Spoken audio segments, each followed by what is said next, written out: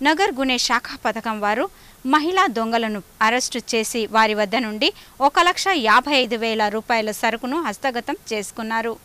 गुप्त बातमीदाराकडून मिळालेल्या माहितीच्या आधारे शहर गुन्हे शाखेच्या पथकाने मधला मारुती परिसरात संशयितरित्या फिरणाऱ्या लक्ष्मी भोसले सविता भोसले मीनाक्षी भोसले ममता भोसले शैला पवार या सराईत महिला चोरट्यांना ताब्यात घेऊन यांची अधिक चौकशी करून यांच्या ताब्यातून सोन्याचे दागिने आणि रोख रक्कम असा एकूण एक लाख पंचावन्न हजार किमतीचा मुद्देमाल हस्तगत करून सदर गुन्ह्यात सराईत महिला चोरट्यांना अटक करण्यात आली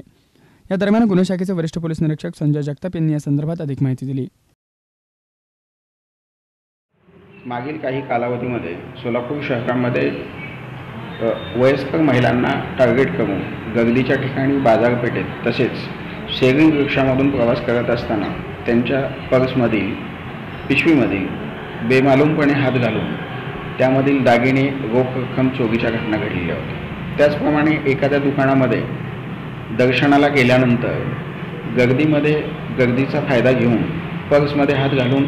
दागिने व रोख रक्कम गेल्याच्या सुद्धा घटना घडलेल्या होत्या. त्या अनुषंगाने ए पी आय बंडगर व त्यांचं पथक यांना त्या दृष्टिकोनातून वर्कआउट करण्याच्या सूचना दिलेल्या होत्या. त्या सूचनांच्या अनुषंगाने ए पी आय बंडगर व पथकाने त्या सर्व गुन्ह्यांचा अभ्यास करून हे गुन्हे महिलांच्या ग्रुपने केल्याचे निदर्शनास आले होते. त्या अनुषंगाने माहिती काढून बातमीदारांकडून मिळालेल्या माहितीनुसार त्यांनी आरोपी महिलांना पकडलेले असून त्यांच्याकडून एकूण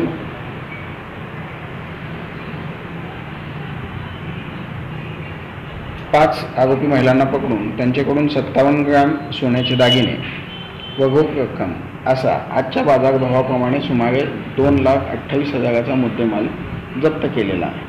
व अशा प्रकारे घडणाऱ्या गुन्हे पाच गुन्हे उघडकीस आणलेले आहेत. सदरची कामगिरी माननीय पोलीस आयुक्त अंकुश शिंदे सर पोलीस उपायुक्त बाप्पू बांगर सर सहाय्यक पोलीस आयुक्त अभय डोंगरे साहेब यांच्या मार्गदर्शनाखाली ए पी आय बंडगर व त्यांच्या पथकातील A S I Akhade P N Phutkar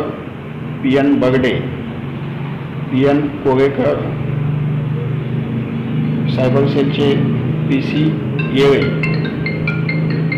व वकुल गायकवाड तसेच महिला कॉन्स्टेबल आरती यादव व आयशा फुलावी यांनी केलेले आहे. या अनुषंगाने आमचं सर्वांना आव्हान आहे की शेअर रिक्षामधून प्रवास करत असताना प्रत्येकाने आपल्या मौल्यवान वस्तूंकडं लक्ष ठेवणं आवश्यक आहे. तसेच त्या ठिकाणी वृक्षामध्ये गर्दी करून संशयास्पद हालचाली करत असल्यास तात्काळ सावध होणं गरजेचं आहे आणि अशावेळी त्यांनी ती माहिती पोलिसांना देणं गरजेचं आहे. त्याचप्रमाणे बाजारपेठेत दर्शनासाठी ज्या ठिकाणी गर्दीची ठिकाणं आहे त्या गर्दीमध्ये सुद्धा आपला मौल्यवान ऐवज व्यवस्थित सांभाळून ठेवणं आवश्यक आहे व गरज नसताना दागिने व रोख रक्कम पर्समध्ये घेऊन फिरण्याऐवजी ती सुरक्षित घरी किंवा लॉकरमध्ये ठेवावी असं आम्हाला आमचं त्या संबंधित महिलांना